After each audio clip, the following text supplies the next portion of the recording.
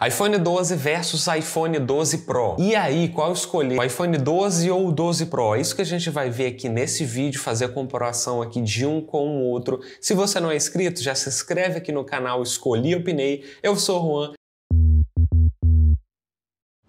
esse comparativo aqui promete. A gente está com dois iPhones aqui, iPhone 12 e iPhone 12 Pro. O sistema iOS, o chipset é o mesmo, a memória RAM do iPhone 12 Pro é de 6 GB, do iPhone 12 é 4 GB. É melhor? É, mas na prática não faz tanta diferença assim. Em relação à memória interna, o iPhone 12 ainda começa nos 64 GB e o iPhone 12 Pro é só a partir dos 128 GB de espaço. Em relação à câmera, no iPhone 12 Pro é melhor porque tem a terceira câmera, tem a opção opção de zoom, tem o LiDAR, então tem algumas funções a mais do que no iPhone 12. Em relação à tela, é a mesma coisa, não muda nada. Já em gravação de vídeo, a gente está falando aqui de 4K, 60 frames em ambos, bateria também a mesma coisa, só que acaba que o conjunto do iPhone 12 Pro acaba sendo mais consumidor de energia, então isso afeta na autonomia, o que faz com que o iPhone 12 dure mais, mesmo tendo a mesma miliamperagem do que o iPhone 12 Pro. Só que o principal que é o seu bolso, será que vale a pena você comprar um iPhone 12 Pro simplesmente por uma câmera a mais